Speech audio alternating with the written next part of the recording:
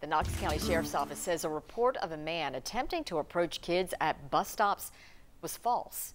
It says after an investigation, detectives say the Knox County bus driver who originally reported the story admitted it was made up.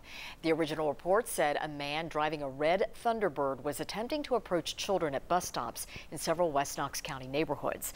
Knox County School says that bus driver is no longer on the driver eligibility list. In more